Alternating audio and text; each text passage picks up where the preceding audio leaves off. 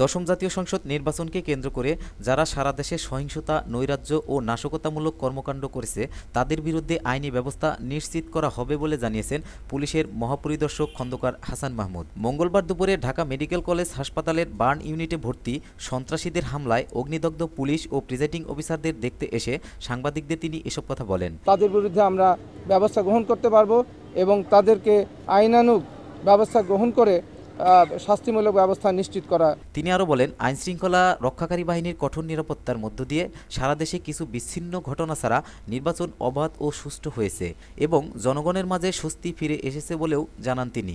নির্বাচনকে কেন্দ্র করে যেসব এলাকায় নাশকতা করা হয়েছে সেসব এলাকা শনাক্ত করা হয়েছে। আইনশৃঙ্খলা পরিস্থিতি নিয়ন্ত্রণে এনেছে এবং যেখানে আইন ব্যবস্থা গ্রহণ করা দরকার আভিযানিক তৎপরতার মাধ্যমে তদন্তের মাধ্যমে সেই কার্যক্রমও অব্যাহত আছে এবং আজকেও ওই জায়গাগুলোতে আমরা আমাদের অভিযানিক তৎপরতা অব্যাহত রেখেছি।